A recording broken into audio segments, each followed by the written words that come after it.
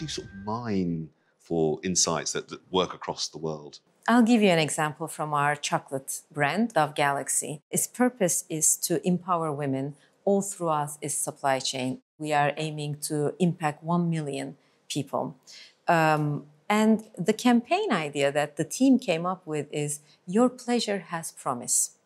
And they tested it in China, in the UK, in the Middle East, works everywhere.